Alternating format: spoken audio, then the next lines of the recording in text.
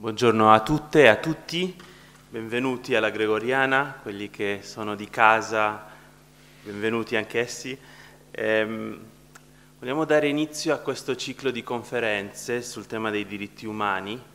Eh, abbiamo voluto fare una cosa quest'anno per celebrare eh, l'anniversario della dichiarazione del 48 e di riflettere su questi temi nel nostro ambito eh, universitario, certamente mettendo insieme una riflessione di fondo, quindi nelle prime tre sedute di questo, eh, di questo ciclo di conferenze guardiamo un po' i fondamenti, il testo, la storia, i fondamenti filosofici, giuridici, eh, i fondamenti teologici della dichiarazione, per poi eh, eh vedere in sei sedute eh, dei vari temi, specialmente pensando verso il futuro, verso l'attualità e il futuro. Cosa possiamo dire oggi eh, sui diritti umani?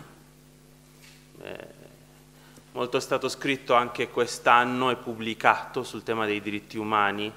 Eh, alcuni autori mostrano che c'è da sperare, no? c'è, un libro di Catherine Sikink alla Harvard Kennedy School che dice sono tanti indicatori che indicano che in, ultimi, eh, in quest'ultimo secolo, dopo gli orrori delle prime due guerre mondiali, dopo gli orrori del Novecento, ehm, c'è da sperare perché in tutto il mondo pian piano cresce una consapevolezza dei diritti umani, però senza senza essere ingenui, senza, ehm, eh, senza pensare che le cose sono, vanno bene in tutto il mondo. Come sappiamo ci sono tante cose, eh, tante violazioni dei diritti umani che continuano a succedere nel nostro mondo che ci fanno pensare.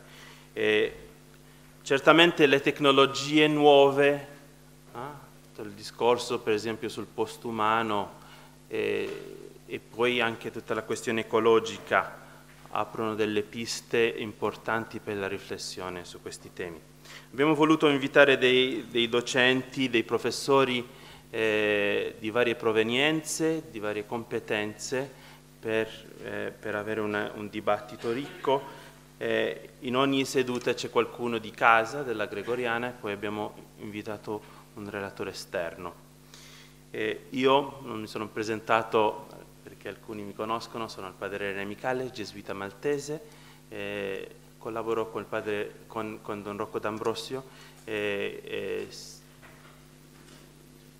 siamo, è una, un progetto questo di collaborazione tra la Facoltà di Scienze Sociali e, la, e, il Dipartimento di Teologia Morale e porto il saluto da parte di, di padre Diego Alonso Laceras che è il direttore del Dipartimento di Teologia Morale. Sugli obiettivi e il contenuto eh, lo potete vedere nei volantini e nell'informazione che trovate su internet. Perciò vorrei passare la parola adesso al, al nostro decano di Scienze Sociali per un saluto.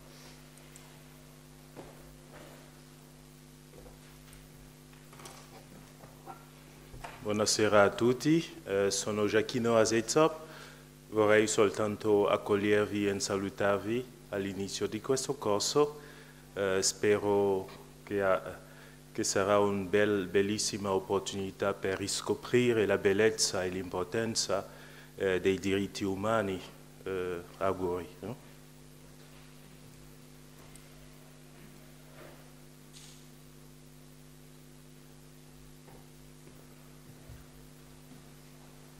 Buonasera a tutti, allora presento i relatori che fra i compiti è quello più difficile perché sono dei colleghi, allora è meglio stabilire prima quello che devo dire, ancora dico una parola di più, una parola di meno. Ma nell'era tecnologica si è anche facilitati perché mentre io dico il vostro nome uno digita e si legge tutto il curriculum, quindi anche se sbaglio c'ha una testimonianza. Bene, grazie, a, come diceva il padre eh, René, e grazie ai due docenti, un docente della Gregoriana che è il professor eh, Sergio Tanzarella che insegna eh, di per sé e eh, ordinario di storia antica e contemporanea alla Facoltà Teologica dell'Italia Meridionale nella sezione eh, San Luigi e poi insegna anche qui storia antica solamente, credo, qui non contemporanea.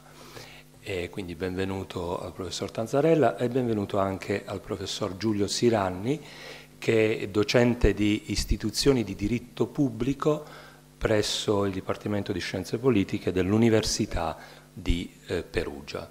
E quindi non ho detto né una parola in meno né una parola in più di quella concordata, se no altrimenti le diamo qualche diritto fondamentale. Grazie. Ah, ecco, ho detto una parola in meno. Una parola in più io, semplicemente per, per dire che come, come, formula vogliamo fare due interventi, due relazioni di, di, circa 20 minuti. Cerchiamo di restare nel tempo, se si riesce a, a finire in 40 minuti avremo ancora 10 minuti un po' per un po' di dialogo tra i due relatori, poi avremo una mezz'ora di dialogo con, con eh, il pubblico, con voi. Eh, speriamo che possa essere ricco questo scambio. Eh, per quelli che fanno questo come corso, hanno già ricevuto per email le, le istruzioni, il programma, se ci sono dei, dei, problemi, delle domande, possono parlare con noi eh, alla fine o in un'altra sede. Grazie. Bene, buon pomeriggio a tutti e grazie di questo invito. Con il collega concordavamo su questa idea, abbiamo questa grave responsabilità di iniziare, iniziare questa iniziativa che definisco coraggiosa e opportuna perché complessivamente, nonostante l'Accademia ritorni a, a parlarne, complessivamente però, almeno in Italia, la memoria della dichiarazione è quasi del tutto cancellata. Io sono stato invitato a richiamare il contesto storico nel quale la Dichiarazione universale dei diritti dell'uomo venne elaborata e poi approvata il 10 dicembre del 1948. Essa è per noi la fonte di un mondo che rischia ormai di scomparire. Infatti, nonostante la retorica delle propagande governative, eh, la storia in Italia e il suo studio sono ormai in via di estinzione Basti soltanto pensare all'ultima disposizione degli istituti tecnici in Italia, le ore di lezione sono state ridotte a una. Il passo successivo sarà nell'ordine della mezz'ora, se l'unità di misura lo consentirà. E in realtà è il riferimento al lungo dopoguerra che nel 1948 era appena iniziato. In quel 10 dicembre del 1948 erano trascorsi poco più di tre anni dai lampi di Hiroshima e Nagasaki, con i quali si concludeva una guerra mondiale in cui erano morte appena 40 milioni di persone. Ed erano passati poco meno di 30 anni dalla fine della prima guerra mondiale, con i suoi quasi 10 milioni di morti in quel primo mezzo secolo vi era stato un susseguirsi di guerre, di rivoluzioni, di repressioni, con un corollario di persecuzioni, di torture sistematiche, di genocidi. Il fumo dei corpi dei campi di concentramento nazisti non si era ancora dissolto e neppure i veleni delle camere a gas erano diventati inerti.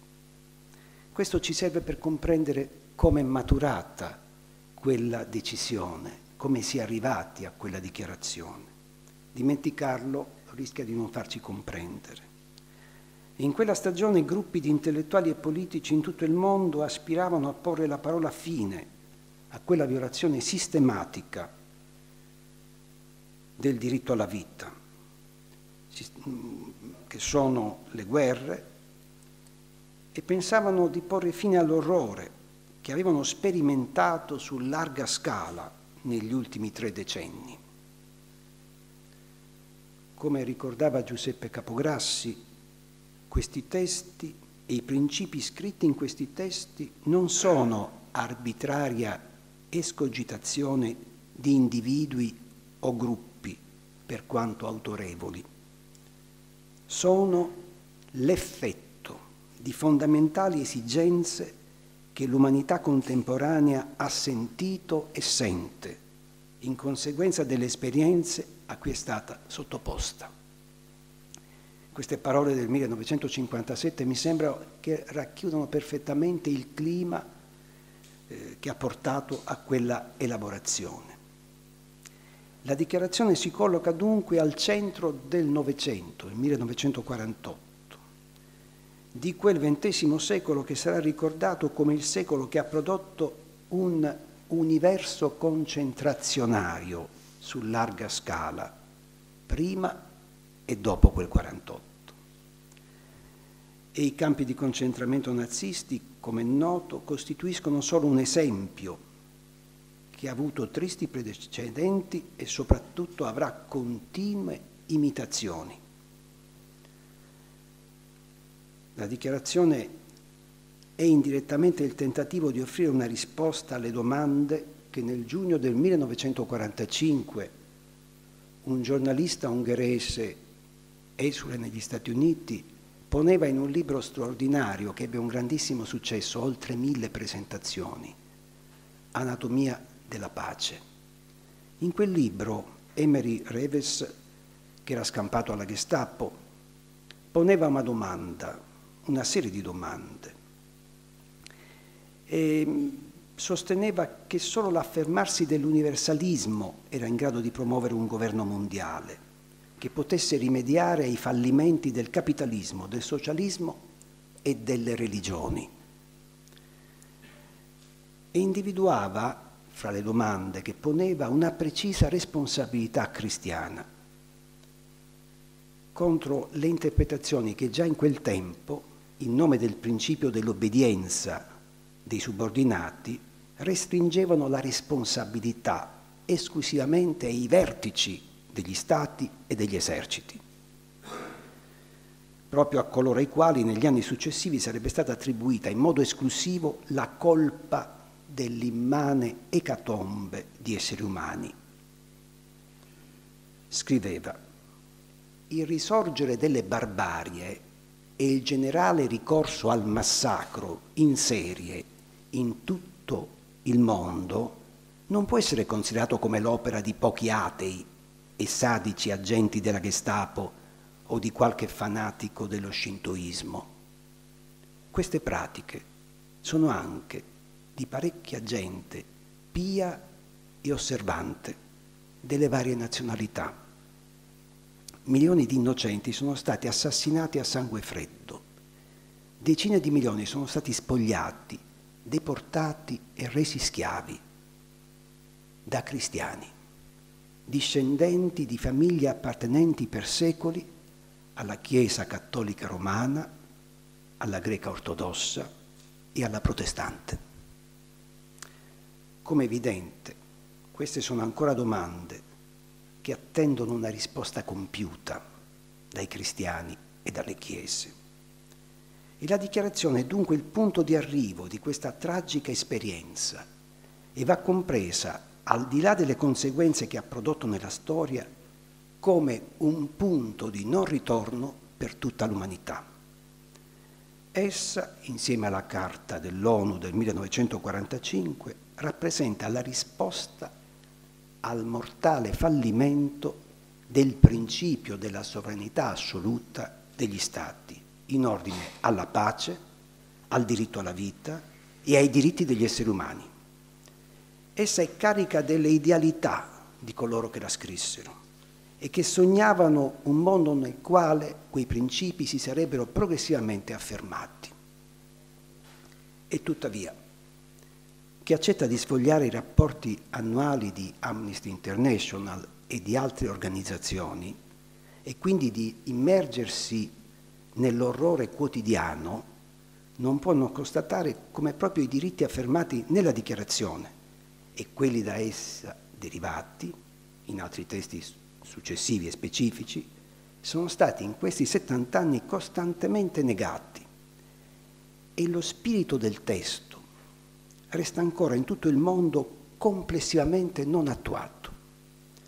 E questo non solo nelle nazioni dove vigono dittature e regimi, troppo semplice osservare questo, è evidente. O dove sono in corso guerre, è evidente anche questo, ma anche nelle democrazie che hanno lunga vita e tradizione del diritto. Si potrebbe anzi affermare che le politiche economiche, quelle sociali e quelle della sicurezza hanno prodotto e producono leggi e prassi che non solo negano quei diritti fino a renderli di fatto non esigibili, ma che si oppongono anche al solo riconoscimento dei diritti della dichiarazione. E non mi riferisco qui a quegli avvenimenti gravissimi di negazione di diritti umani di carattere straordinario, in violazione alle leggi, parlando dell'Italia, i fatti dei giorni di Genova, della scuola Diaz, della caserma Bolzaneto durante il G7 del 2003, o cronaca di questi ultimi giorni, l'omicidio del povero Cucchi e alla miriade di altre violazioni, ma mi riferisco alle negazioni ordinarie dei diritti umani, come avviene nella quasi totalità degli istituti di pena italiani, che ho avuto la possibilità di frequentare, non come recluso per il vero, e nella gestione della sanità pubblica, del lavoro nero, del lavoro paraschiavistico o nella tratta degli esseri umani, che sono tutte realtà diffuse sistemiche e tollerate in Italia.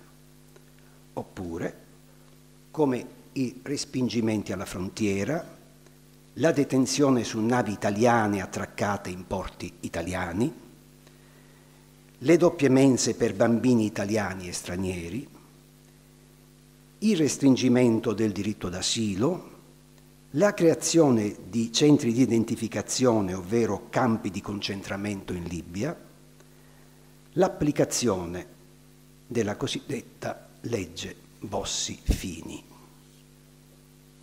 fino ad arrivare, ma ciò è questione grave e diffusa in Occidente, a legare diritti umani a cittadinanza, che è la cosa più grave che si potesse mai pensare. In quel 1948 era impensabile, affermando così un principio di esclusione che ha come conseguenza la cancellazione di fatto di universale degli stessi diritti umani, fino a far diventare reato anche la solidarietà, come il caso di Mimmo Lucano ampiamente dimostra.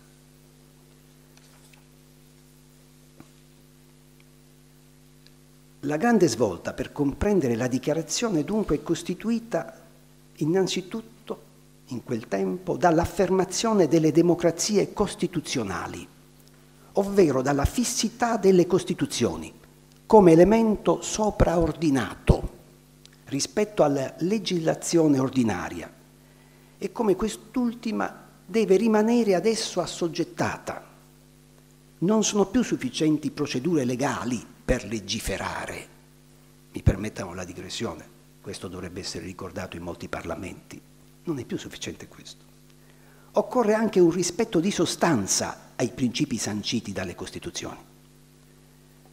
Come sostiene Luigi Ferraioli, la costituzionalizzazione rigida del principio della pace, dei diritti fondamentali e della divisione dei poteri, che sono esattamente ciò che il fascismo aveva negato e che del fascismo rappresentano la negazione, imponendone il rispetto ai pubblici poteri, innesta infatti nella democrazia, in aggiunta alla tradizionale dimensione politica, meramente formale e procedurale, perché riguarda il chi e il come delle decisioni, una dimensione sostanziale, importante, sostanziale, riguardante il che cosa non può essere deciso, la violazione dei diritti di libertà e della pace, o deve essere deciso la soddisfazione dei diritti sociali da parte di qualunque maggioranza.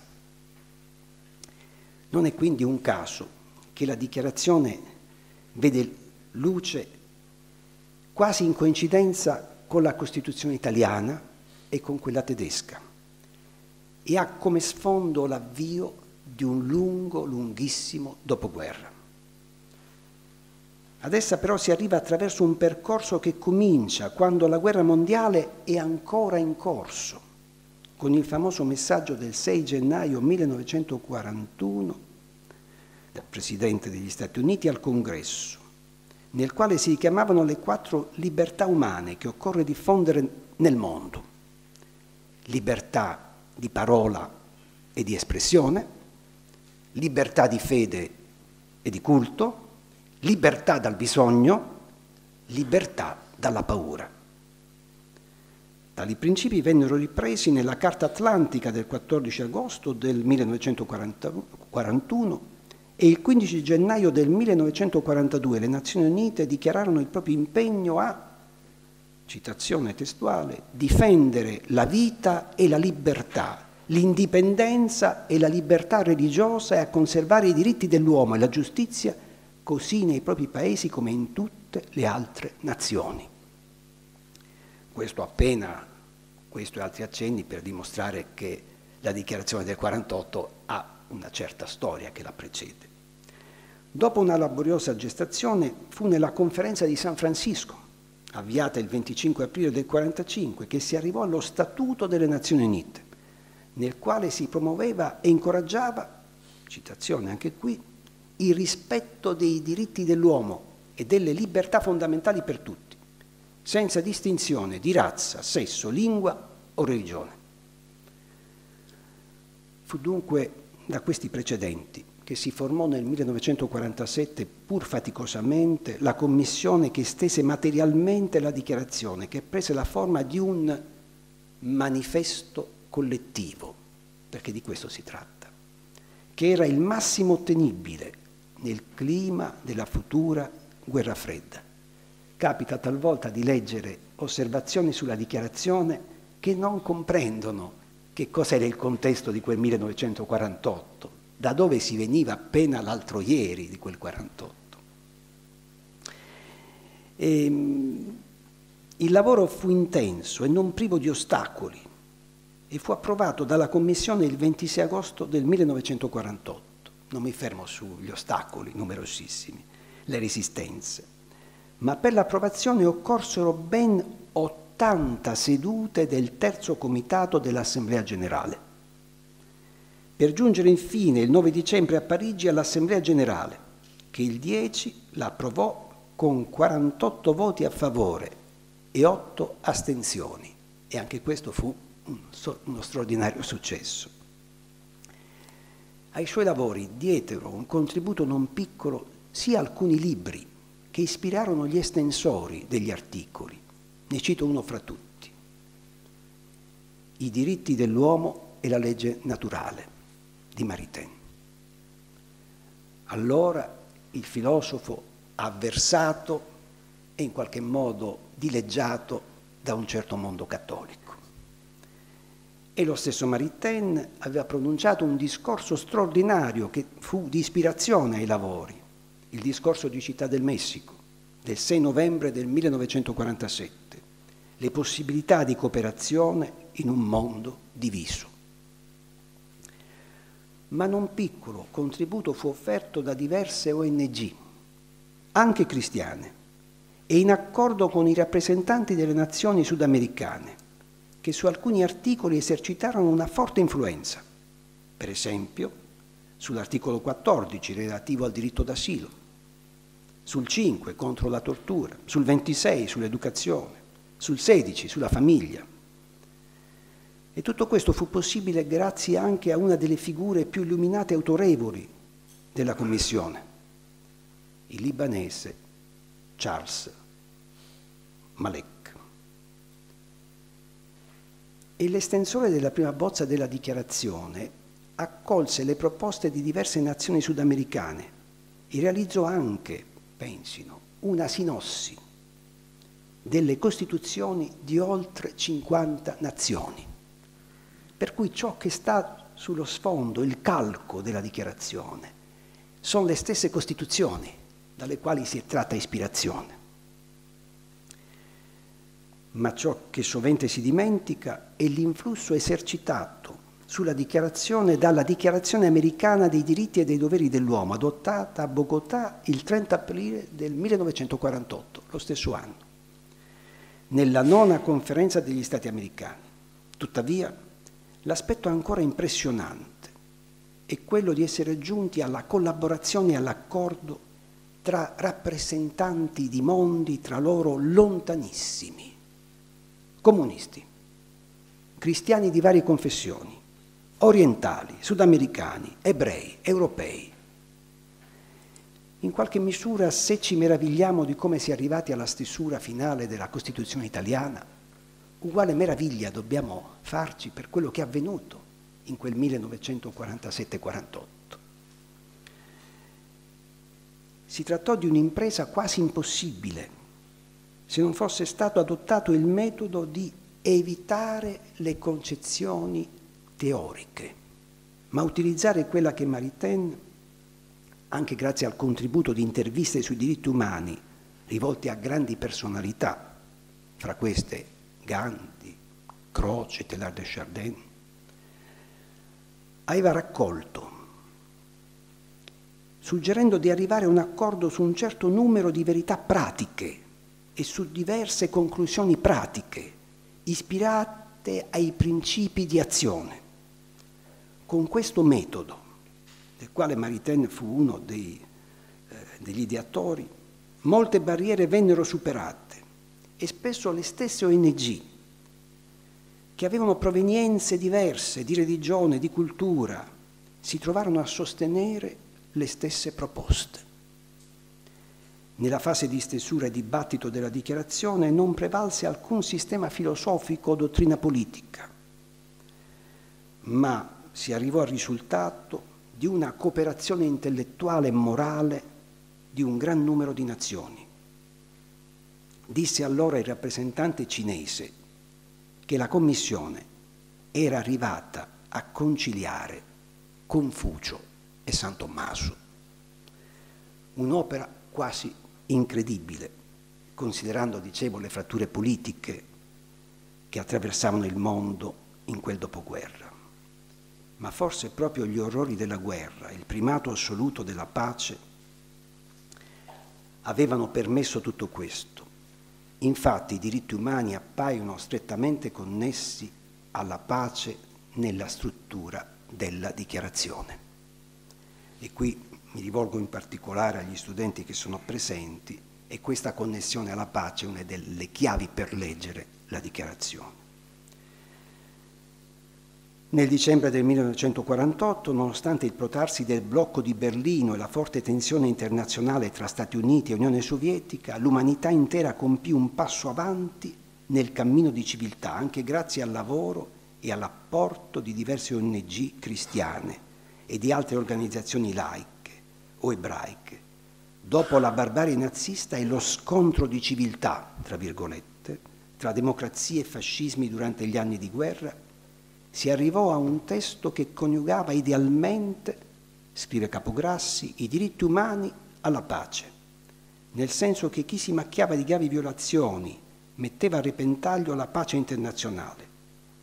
Fu così dunque che nacque il primo decalogo dei diritti umani, che non portava con sé complesse disquisizioni, disquisizioni filosofiche sul fondamento degli stessi, ma che si presentava come una sorta, questa è la definizione che suggerisce, di lista sempre aperta. E richiamandosi poi a Bobbio scriveva che andava a scalfire la sovranità assoluta degli Stati, proteggendo un nucleo di diritti naturali anche contro lo Stato stesso. Vi permetta di sottolineare questo aspetto riguardo anche all'attuale condizione della politica italiana e di tesi esattamente opposte sostenute da qualche ministro italiano. Un discorso a parte meriterebbe la posizione ufficiale del cattolicesimo romano. Non mi devo fermare più di tanto, è stata anche studiata.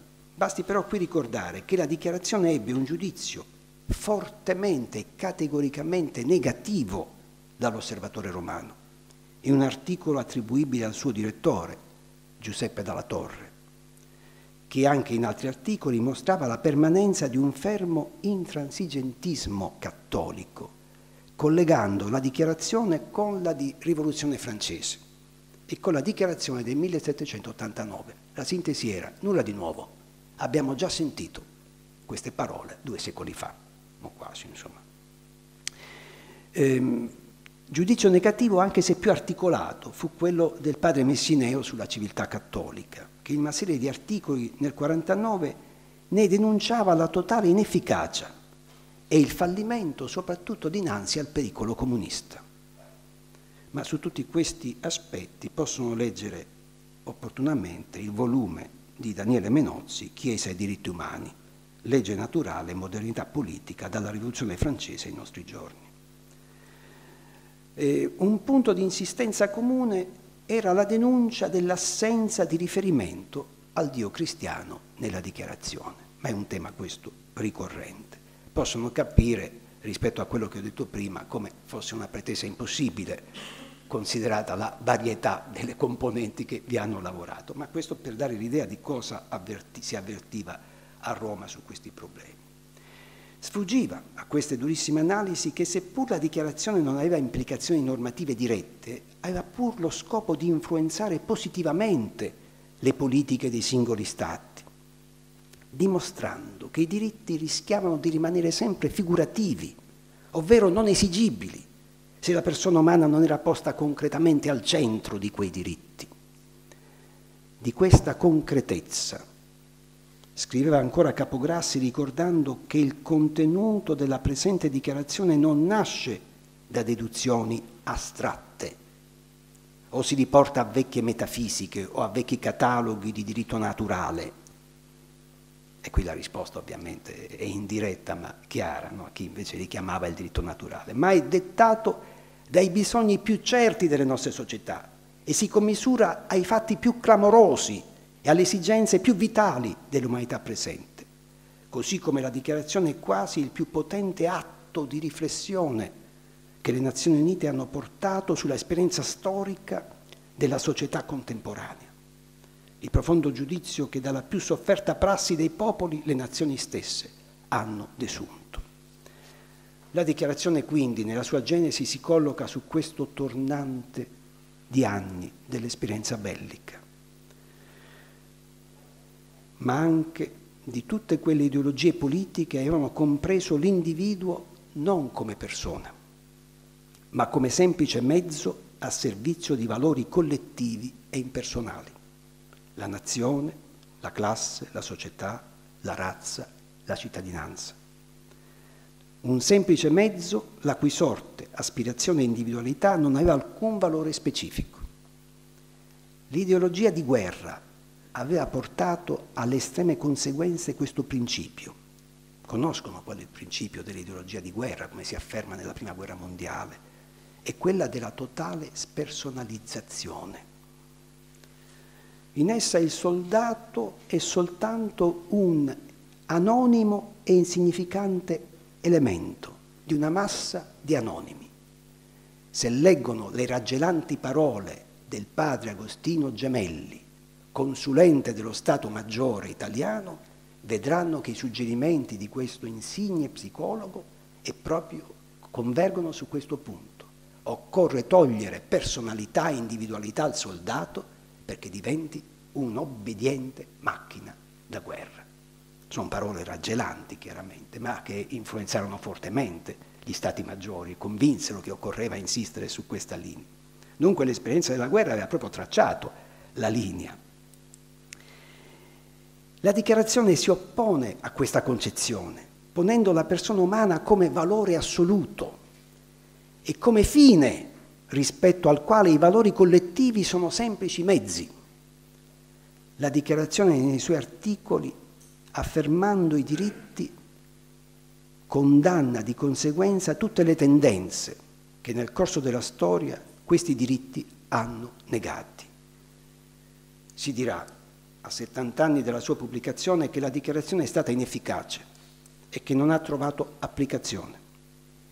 E tuttavia, essa rappresenta uno straordinario momento di rimente, perché è grande cosa che la verità sia dichiarata che la condanna, sia pure teorica, ci sia, che quello che è negativo sia dichiarato come negativo, che la violazione sia qualificata come violazione. È cosa fondamentale, insomma, che l'orribile dubbio che pareva oscurasse e oscura la coscienza dell'umanità, che l'uomo non abbia valore e che se ne possa fare quello che si voglia, sia eliminato. Tutta l'umanità della vita sta in questo riconoscere la verità, cioè nel riconoscere il positivo della vita dal negativo, il bene dal male. Appena scritto Mimmo Lucano, il sindaco recluso e oggi semi-liberato perché mm, non può ritornare nel suo comune, non può soggiornare nel suo comune e mi sembra sia utile questa circostanza per chiudere con le sue parole. Verrà un giorno, in una lettera che ha scritto appena ieri, da Esule, verrà un giorno in cui ci sarà più rispetto per i diritti umani, più pace che guerre, più uguaglianza, più libertà che barbarie, dove non ci saranno più persone che viaggiano in business class ed altre ammassate come merce e carne umana provenienti dai porti coloniali con le mani aggrappate alle onde dei mari dell'odio.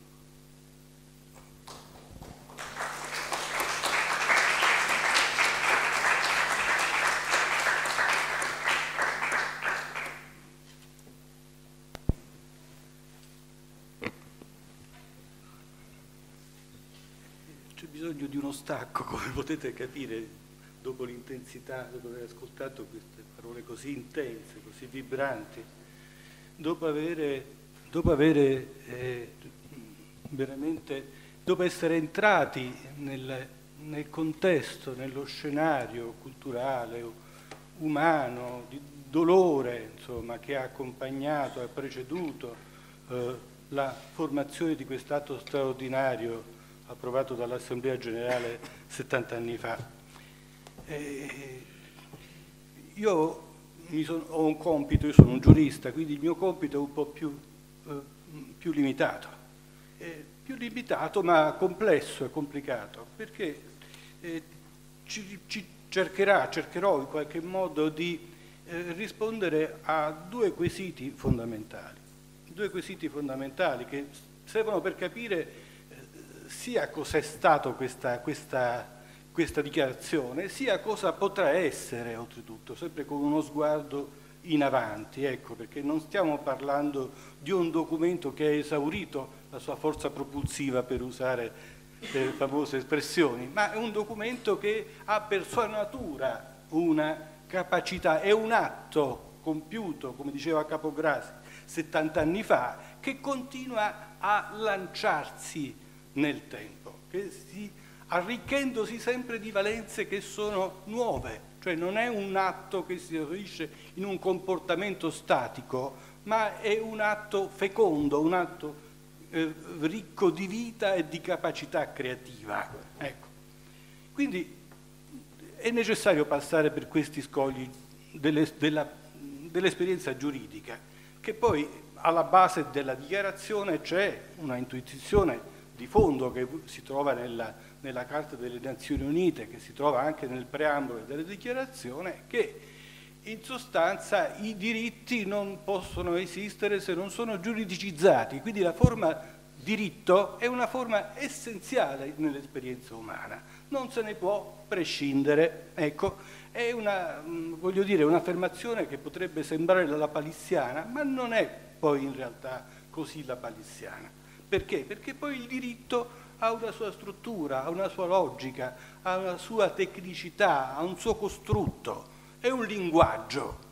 Quindi dalle capacità di questo linguaggio che si chiama diritto dipende la capacità di questo altro linguaggio, che si, questo obiettivo che è quello de, della protezione della vita degli uomini. Ecco, questo è. Ora, quindi primo problema è quello di capire in qualche modo la natura giuridica di questa dichiarazione universale e poi sarà necessario entrare dentro i contenuti di questa dichiarazione universale per comprenderli meglio. Sul primo aspetto, la natura giuridica, la natura, il problema della natura giuridica capite che è un problema delicatissimo perché in una prospettiva nichilistica quello che non è diritto non è nulla. E, e, e, e questo è molto pericoloso evidentemente, perché non è vero che l'esperienza umana eh, è divisa tra due possibilità, o diritto o niente. La realtà è più complicata. Ora, che risposta possiamo dare a questo quesito? La risposta apparentemente ce la dà immediatamente il preambolo della dichiarazione. Nell'ultimo capoverso del preambolo si afferma, ve lo leggo così comprendete. L'Assemblea generale proclama la presente dichiarazione universale dei diritti dell'uomo umani come ideale comune da raggiungersi da tutti i popoli, da tutte le nazioni, affinché ogni individuo e ogni organo della società, quindi è una proiezione che si rivolge sia agli uomini sia alle organizzazioni della vita sociale, eh, avendo costantemente presente questa dichiarazione, cioè quindi una sorta di eh, vademecum, si sforzino di promuovere con l'insegnamento e l'educazione il rispetto di questi diritti e libertà. Quindi capite che il first best, il first obiettivo è un, è un obiettivo pedagogico, si parla di insegnamento ed educazione come il primo canale, però poi si aggiunge eh, di garantirne mediante misure progressive di carattere nazionale ed internazionale l'universale ed effettivo riconoscimento e rispetto tanto tra i popoli degli stessi Stati membri quanto tra quelli dei territori sottoposti alla loro potestà. Quindi capite, qui scatta il momento della garanzia, il momento del diritto, quindi il compito, la missione attribuita agli ordinamenti politici, eh? quindi sono questi i destinatari. Questo che cosa comporta dal punto di vista, punto di vista giuridico? abbiamo una carta, una, una dichiarazione che eh, contiene delle affermazioni che sono affermazioni non immediatamente giuridiche, sono indicazioni di obiettivi e di finalità eh, che attendono di assumere poi la loro forma giuridica quando, quando le organizzazioni politiche gli conferiranno questa ulteriore veste. Quindi c'è questo, questo, questo, questo, questo. Quindi eh, il, la giuridicità in che cosa sta? Apparentemente abbiamo una giuridicità, eh, come si può dire, limitata. Per comprendere però meglio il senso di questa eh, relativa giuridicità, quella di un atto di indirizzo, di una raccomandazione, voglio ricordare che dal punto di vista formale la dichiarazione, la proclamazione è il contenuto di una risoluzione, cioè di un atto di impegno, di un atto di impegno col quale le Nazioni Unite specificano quali sono i diritti che secondo la Carta stessa devono essere tutelati, diritti umani, insieme alla pace. Detto in altri termini, la Carta prefigura come obiettivo eh, la tutela della pace e poi la promozione dei diritti umani. La Carta non contiene una definizione dei diritti umani, eh, la definizione di questi diritti umani è affidata a questo strumento che è la proclamazione universale dei diritti dell'uomo. Qual è la giuridicità intrinseca in questa dichiarazione?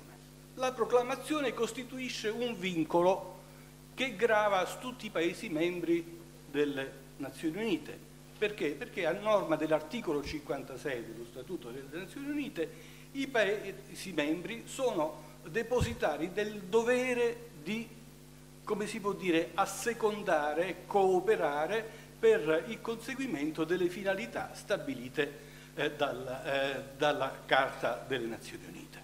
Ecco, quindi in sostanza abbiamo una sorta di obbligatorietà in qualche modo mediata di rimbalzo. Non c'è un obbligo che direttamente dalla, dalla dichiarazione passa, si trasmette agli Stati. Ora, eh,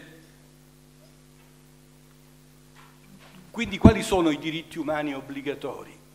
stante questa premessa. I diritti umani da considerare obbligatori sotto il, piano, sotto il profilo giuridico, quindi nella prospettiva del diritto internazionale, sono quei doveri, quegli obblighi che sono sanciti dalle fonti che sono proprie del diritto internazionale. E le fonti del diritto internazionale sono le fonti consuetudinarie e le fonti convenzionali. Quindi la convenzione è la fonte produttiva degli obblighi. E nella prospettiva dei diritti umani, quali sono le fonti di questi eh, diritti umani? Intanto ci sono delle fonti per così dire generali, già previste eh, parallelamente all'approvazione della eh, Dichiarazione eh, Universale dei diritti dell'uomo. E sono i patti che sono stati approvati vent'anni dopo, nel 1966, il patto dei diritti civili e politici e poi il patto dei diritti economici e sociali. Questa distanza di tempo, 20 anni, vi, fanno, vi fa capire quante maggiori difficoltà eh, questi diritti umani incontrano nel momento in cui tendono virtualmente ad assumere una veste che è giuridica e non è soltanto quella dell'assegnazione di un ideale comune. Mm? Ulteriormente eh, le, i diritti umani trovano le loro sedi normative in altre convenzioni che non hanno carattere generale, non sono per così dire orizzontali, ma hanno eh, delle, eh, come si può dire, curano e si impegnano eh, in ambiti tematici particolari. La prima, quella del genocidio, sul genocidio del 48, poi quella sulla discriminazione razziale del 85, quella sulla discriminazione eh, delle donne del 76, quella su, de, sulla tortura dell'84, quella sulla protezione dei minori dell'89, quella sui, sui migranti del 1990. Quindi c'è tutta una catena di atti convenzionali che eh, la comunità eh, internazionale ha approvato, naturalmente con varietà di consensi, perché tutti questi atti sono eh, firmati e ancor più ratificati da soggetti che non sono necessariamente i medesimi. Eh? Quindi mentre la dichiarazione universale, la proclamazione universale ha avuto questa approvazione così estesa, eh, e questi altri strumenti hanno avuto di volta in volta delle approvazioni molto più circoscritte. Mm? E, e, ulteriormente un altro ambito fondamentale in questa cerchia di costruzione di sistema dei diritti eh, umani nel diritto internazionale è rappresentata poi dalle dai trattati di area, dove eh, le condizioni, i eh, trattati di area sono trattati, eh, come si può dire, definiti eh, eh, tra i paesi che appartengono a determinati ambiti, determinati bacini territoriali, dove virtualmente esistono condizioni di omogeneità maggiore che agevolano la formazione di accordi. Mm? E quindi noi abbiamo tre principali accordi, il più antico è quello europeo, l'Ocse, insomma, e poi ancora c'è il patto eh, interamericano e poi ancora un altro strumento importante, anche se con una vitalità eh, più modesta, è quello della Carta africana dei diritti eh, che ha iniziato il suo percorso nel lontano 1981. Ora quindi la conclusione qual è? Che i diritti e i correlativi obblighi della dichiarazione eh, assumono una dimensione giuridica solo in via mediata. È comunque una dimensione piuttosto debole in ragione dell'articolo 56 dello Statuto dell'ONU, oppure nella misura in cui i contenuti della dichiarazione eh, universale non siano stati sussunti o richiamati dai patti. Ora, quindi apparentemente quindi abbiamo uno spettro di giuridicità piuttosto limitata. E la questione in realtà è, è più complicata. È con, piuttosto complicata perché in realtà l'idea che eh, il, il, la dichiarazione eh, eh, universale sia eh, semplicemente un atto di indirizzo e non abbia una carica giuridica, così come d'altra parte proprio il preambolo prevede, può essere messo in discussione. Per quale ragione? Ma la ragione fondamentale è data da una ridondanza di contenuti. È un atto, quello, un atto, è un atto politico, la proclamazione, talmente potente eh, che evidentemente non riesce ad essere contenuto in maniera adeguata e definitiva dalla cornice giuridica tutto sommato limitata che gli è stata data. Sì, sarà, una, sarà un atto di indirizzo, sarà una raccomandazione, ma chi può pensare che veramente un atto così importante si esaurisca in una raccomandazione? Allora, eh, quali sono le, gli output, gli effetti di questa, di questa premessa? Eh, questi effetti di, si sono tradotti in una serie di tensioni che hanno spostato eh, parte almeno dei contenuti eh, della dichiarazione, della proclamazione, in eh, assetti normativi eh, che possono considerarsi obbligatori. Quindi quali sono questi, questi, eh, questi, questi passaggi? Diciamo, il primo passaggio può essere rappresentato dalla, dal trapasso dei precetti della Dichiarazione universale nella sfera del diritto internazionale consuetudinario. Eh, io vi ho detto prima che il diritto internazionale assume come propria fonte fondamentale eh, eh, i trattati internazionali, quindi l'accordo tra i multilaterale o bilaterale tra gli Stati.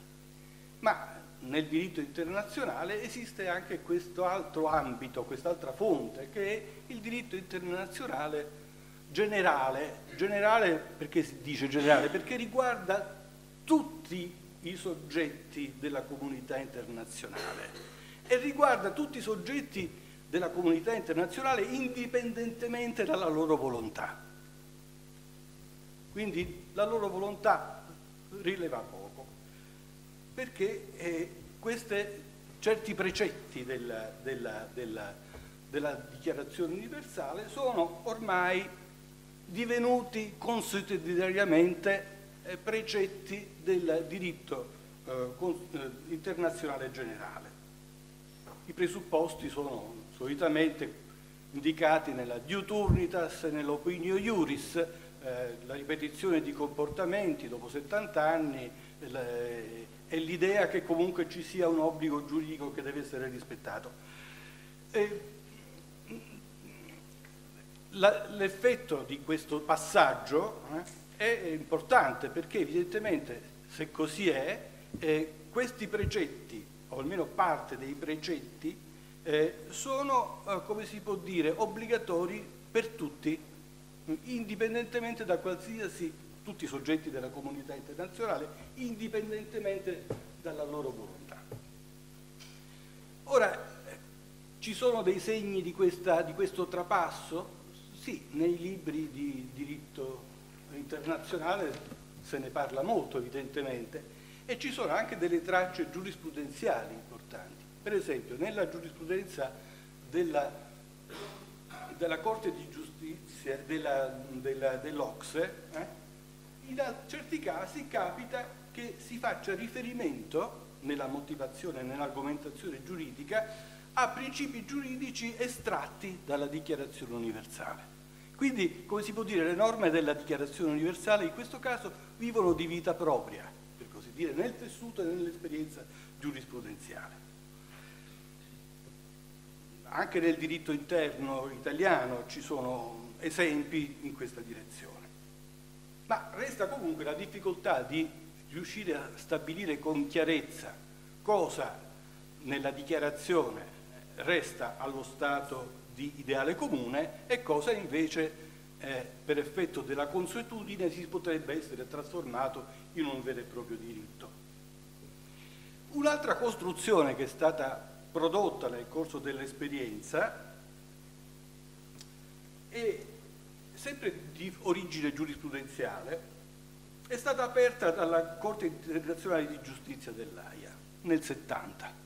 E qual è il presupposto di questo percorso di, giurisdiz- di giuridizzazione? Il, il, presupposto sta nel fatto che si ritiene che ci siano degli obblighi che per la loro natura, degli obblighi tra gli stati, eh, che per la loro natura non possono fondarsi sulla reciprocità, hm? ma investono l'intera comunità internazionale. Non sono cioè obblighi che riguardano soltanto lo Stato A e lo Stato B, ma riguardano per la loro natura l'universo degli Stati e quindi come tali diventano inderogabili, obbligatori per tutti. E se questi obblighi vengono violati, se per ipotesi gli obblighi hanno per oggetto la tutela di diritti umani, le violazioni compiute possono essere rivendicate e denunciate non soltanto dalle parti direttamente lese, ma diventano una vulnus che colpisce l'intera comunità internazionale e che abilita ogni soggetto a reagire.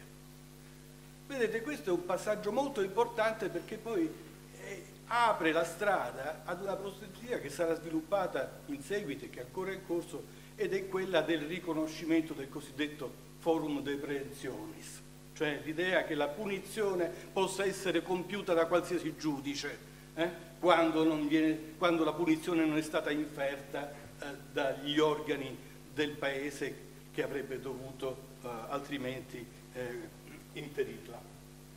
E ci sono anche ulteriori altri aspetti, un altro, un altro modello, ve lo dico però non voglio annoiarvi, è, è quello del cosiddetto ius cogens, lo ius cogens significa che esistono dei principi mh, hm, nel diritto internazionale che tutelano dei valori che per la loro natura sono sottratti al diritto internazionale sia eh, consuetudinario sia pattizio, cioè in altri termini non ci può essere una consuetudine internazionale, anche antica e consolidata, che li po possa violare e non si può tantomeno immaginare che questi diritti possano essere violati attraverso degli accordi internazionali, attraverso dei... Quindi, capite, c'è un esempio molto interessante proprio di questa prospettiva nella eh, Convenzione di Vienna eh, che regola il funzionamento dei trattati. La Convenzione di Vienna che cosa dice? Che voi sapete, alla base di tutto il diritto dei trattati c'è una norma fondamentale, quella per cui inademplenti non est ademplendum, cioè se una parte contraente non adempie all'obbligo del trattato, la controparte è liberata a sua volta dall'obbligo. Bene, che cosa dice la Convenzione di Vienna? Che se l'obbligo ha per oggetto diritti umani, eh, il fatto che una parte non abbia rispettato il diritto non esonera la controparte dall'obbligo di continuare a rispettare quell'obbligazione eh, convenzionale. Quindi capite, c'è questo spettro, ci sono questi, queste tendenze che hanno l'effetto, per così dire, almeno in parte, di spostare eh, i precetti dal piano eh, della eh, dell'ideale comune a, al piano del diritto. Eh? Qual è naturalmente il limite di tutto questo percorso? Il limite sta nel fatto che, ahimè, è il diritto internazionale dei diritti umani, cioè tutto il, tutto il diritto internazionale poggia eh, su due presupposti, due bastioni che abbiamo visto che sono quello della, quello della sovranità e quella poi della conseguenza della sovranità che è rappresentato dal principio dell'articolo 2, paragrafo 7 della Carta delle Nazioni Unite, cioè il principio di non interferenza degli affari interni. Quindi capite che le violazioni dei diritti umani sono fatte dagli Stati, ma l'accertamento delle violazioni è fatto dagli Stati e le sanzioni non possono essere inferte se non trapassando questo scudo protettivo che è rappresentato dalla sovranità. E, capite? Quindi c'è una tragica debolezza in tutto quanto è costrutto del diritto eh, internazionale dei diritti umani, ecco. e che si è cercato naturalmente in tanti modi di, eh, eh, superare, ma sempre con delle risposte che lasciano, eh, che creano comunque degli, delle infinite difficoltà. Voi capite che si passa dalla, dai tribunali eh, come quello dell'ex Jugoslavia alla Corte ultima eh, eh, o alla, dalle fly zone alla possibilità di imporre sanzioni eh, economiche a paesi che operano delle violazioni, ma si arriva anche al, al paradosso delle guerre umanitarie che tutti conosciamo. Ecco. Quindi sono tutti quanti meccanismi che ancora non sono, non sono assolutamente eh, accettabili. Quindi, eh, poi senza considerare anche un'altra circostanza, che eh, la tutela dei diritti umani è particolarmente fragile nei suoi meccanismi di implementazione, dove? Proprio lì dove sarebbe più necessaria. E insomma, già abbiamo sentito come siano fragili i diritti umani in un contesto come quello europeo, eh, ma fuori dell'Europa c'è una realtà infinitamente più fragile, infinitamente più esposta, infinitamente, ma proprio incommensurabilmente allora, quindi qual è la conclusione di tutto questo discorso sulla giuridicità o meno? Beh, che ci sono delle parti evidentemente della dichiarazione, della, della proclamazione um, universale che hanno assunto una dimensione che si può ascrivere ormai al diritto hm? ed è una cosa molto importante che il diritto è l'affermazione che qualcosa è un diritto ha un peso e una rilevanza importante, importantissima anzi direi. Questo però non deve portare a sottovalutare il fatto che gli stessi contenuti della dichiarazione universale, della proclamazione universale, anche nel caso in cui non abbiano questa veste giuridica, continuano ad avere una rilevanza valoriale enorme. Quindi in sostanza non c'è una dichiarazione che vale per quelle parti in cui si è trasformato in diritto e che per il resto conta poco, ma è una dichiarazione che è fondamentalmente un'affermazione di valori, principalmente un'affermazione di valori. E i valori eh, non sono fuori del diritto e dell'esperienza giuridica, non possono essere collocati all'esterno, siamo su un crinale no? che eh, eh, non può essere evidentemente ignorato, hm? Eh, non come linea di separazione, ma che avrebbe, dovrebbe avere, questo crinale avrebbe il compito di unire, non di separare questi bacini di esperienza umana. Ecco, queste sono alcune cose che volevo dire, ora non so quanto tempo Ho pochissimo tempo, pochissimo tempo. Sui contenuti, sui contenuti i, molte cose in realtà sono già state dette, quindi eh, i contenuti, i contenuti questo, il testo di questa dichiarazione, eh, il pregio di questo testo è che non è un testo filosofico, non è un testo guidato eh, da un pensiero politico è un testo che nasce da una drammatica e tragica esigenza. Una tragica esigenza che è appunto quella di, eh, eh, come si può dire, eh, dare una risposta al collasso di civiltà eh, prodotto dalle, dalla seconda guerra mondiale. Questo è il, il, il, il dato di fatto. Quindi è un testo che ha una forte componente pragmatica nel senso positivo, è un pragma, è un fare, eh? è l'atto, come diceva Capograssi, poi, appunto. Eh?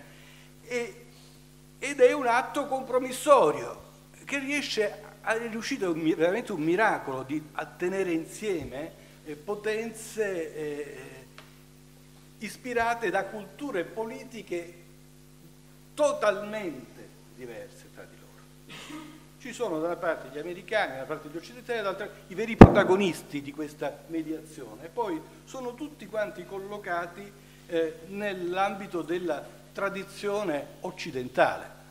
C'è da una parte eh, un giusnaturalismo individualista eh, e dall'altra parte c'è un, come si può dire, un positivismo eh, socialista eh, che si fronteggiano eh, senza che sia possibile eh, gli uni interessati al tema della libertà, gli altri interessati al tema altrettanto importante ma poco riducibile della eguaglianza, libertà ed eguaglianza. Quindi questa casta viene costruita nel tentativo di mettere insieme libertà ed eguaglianza, di rendere compatibili questi due obiettivi. E poi c'è anche una terza componente fondamentale, ed è quella appunto di Maritain e, e, e comunque di, di tutti i poveri cristi travolti dalle vicende della seconda guerra mondiale. Poveri cristi, cioè significa tutti questi uomini eh, che hanno subito sulla propria pelle il segno e il peso delle ideologie, che sono stati trasformati in strumenti di ideologia eh, razziale, di potenza, di nazione, eccetera, eccetera. Ecco. E, e queste, queste, sono le, le, le, le grandi, eh, grandi, componenti. E,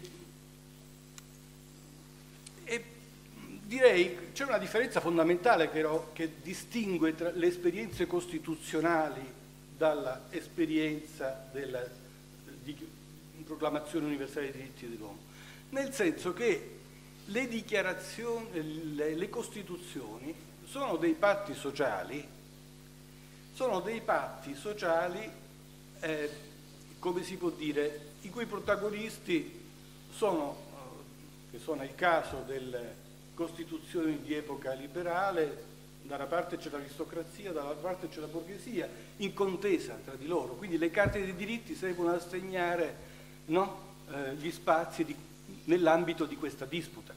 Eh, le costituzioni democratiche diciamo, sono costituzioni che segnano eh, l'equilibrio in un'altra disputa, che è una disputa di classe, ma tra altri soggetti, che sono appunto eh, il capitale e il lavoro, sono eh, la borghesia e il proletariato. Ecco.